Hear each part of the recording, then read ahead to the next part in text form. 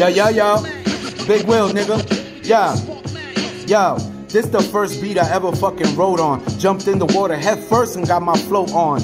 That's my prologue. I form like Voltron. Bars be so strong, you would think that I'm showing off. There's levels to this. I'm incredible, bitch. Never edible, getting revenue forever. You dig? I got impeccable wit. I bet I'm better than you think. Leave you laying in the ring. I knock the head off a king. Niggas always talk cocky, but they sloppy to me.